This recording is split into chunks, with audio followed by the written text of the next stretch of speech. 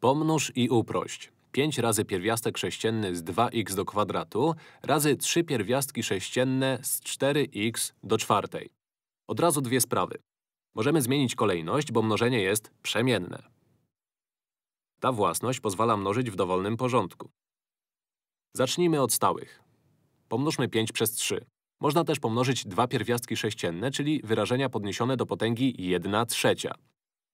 Pierwiastek sześcienny z x to dokładnie to samo, co x do potęgi 1 trzecia.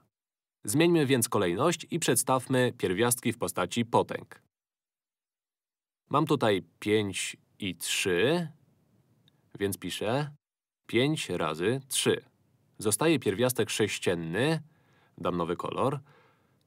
Mamy też pierwiastek sześcienny z 2x kwadrat. Mogę więc przedstawić to wszystko jako 2x kwadrat do potęgi 1 trzecia. Jest jeszcze pierwiastek sześcienny z 4x do czwartej, a to jest to samo co 4x do czwartej do potęgi 1 trzecia. Z własności potęgowania. Gdy mamy podnieść dwie rzeczy do tej samej potęgi i pomnożyć, możemy najpierw pomnożyć, a potem podnieść do potęgi. Jeśli mam a do potęgi x razy b do potęgi x, to jest to równoważne wyrażeniu a razy b do potęgi x.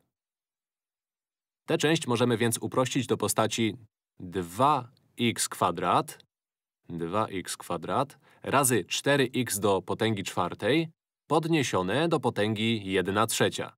I oczywiście 5 razy 3 to 15. Uprościmy wyrażenie w nawiasie. Mnożenie jest przemienne, kolejność nie ma znaczenia. Jest również łączne. Nieważne, jak pogrupujemy czynniki. Tu jest samo mnożenie. To jest 2 razy 4, czyli 6, pomnożone przez x kwadrat razy x do czwartej. x kwadrat razy x do czwartej to jest x do szóstej. Wszystko to podnosimy do potęgi 1 trzecia. Tutaj pomnożymy… Przepraszam, nie szóstej. 2 razy 4 równa się 8. Co ja wyprawiam? 2 razy 4 to 8. 2 razy 4 równa się 8, ale x kwadrat razy x do czwartej to x do szóstej. Mój umysł dodał wykładniki, dlatego wyszło mu 6.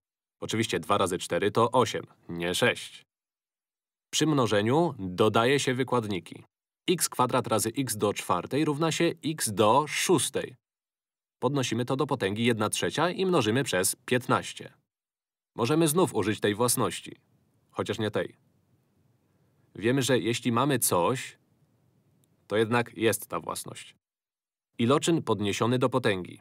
To jest to samo, to samo, co 8 do potęgi 1 trzecia razy x do szóstej podniesione do potęgi 1 trzecia i to wszystko jeszcze mnożymy przez 15. 8 do potęgi 1 trzecia odpowiada pierwiastkowi trzeciego stopnia z 8. Zauważcie, że 8 równa się 2 razy 2 razy 2, więc 8 do potęgi 1 trzecia to 2. 8 to 2 do sześcianu, więc 2 do sześcianu do potęgi 1 trzecia to 2 do pierwszej, 2 razy 2 razy 2 to 8, zaś x do szóstej do potęgi 1 trzecia z własności potęgowania to x do potęgi 6 razy 1 trzecia, czyli do potęgi 6 podzielić przez 3. A 6 podzielić przez 3 to 2, czyli mamy tu po prostu x kwadrat. Tu jest 15 razy 2, czyli 30. To jest to wszystko. I mamy jeszcze to wszystko tutaj. Napiszę innym kolorem. Mamy jeszcze… To nie jest inny kolor. To wszystko tutaj to x kwadrat. Gotowe. Ale są też inne sposoby. Zamiast używać potęg, moglibyście powiedzieć to iloczyn pierwiastków sześciennych. Wyciągnę pierwiastek z iloczynu. Zamiast symbolu potęgi można użyć pierwiastka. Można też dowolnie pogrupować czynniki i zmienić kolejność. Wybierając odpowiednią własność potęgowania, powinniście dojść do tego samego wyniku.